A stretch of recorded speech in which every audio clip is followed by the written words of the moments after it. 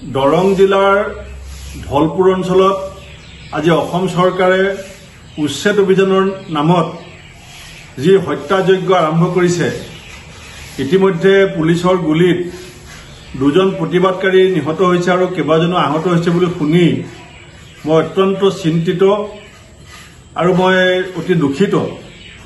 চৰকাৰৰ এই অমানৱীয় বৰ্বৰ ঘটনাক মই তীব্ৰ ভাষাৰে গৰিহণা দিছোঁ। আৰু চৰকাৰৰ এই পুলিচি ব্যৱস্থা বন্দুকৰ নলীৰে সমস্যা সমাধানৰ কৰাৰ চিন্তাক পৰিহাৰ কৰিবৰ কাৰণে মই টানেই আহ্বান জনাইছোঁ। চৰকাৰে উচ্ছেদ অভিযান চলোৱাৰ অধিকাৰ আছে কিন্তু কভিডৰ পৰিস্থিতিৰ সময়ত উচ্চতম ন্যায়ালয়ৰ যি নিৰ্দেশ আছে যে পুনৰ সংস্থাপন নোহোৱালৈকে চৰকাৰে এই ধৰণৰ হঠকাৰী সিদ্ধান্ত লৈ কেইবা হেজাৰ মানুহৰ মূৰৰ ওপৰত এতিয়া ৰ'দ বৰষুণৰ ৰ'দ বৰষুণৰ পৰা বাচিবলৈ এখন চালি নাই। পেটত এমুঠি অন্ন নাই। ল'ৰা ছোৱালীখিনিৰ পঢ়াৰ কোনো ব্যৱস্থা নাই।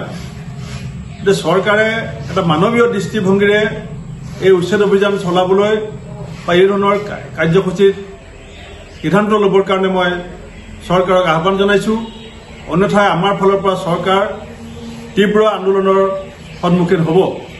কালিলৈ মই আমাৰ দলপতি দেৱব্ৰত শইকীয়া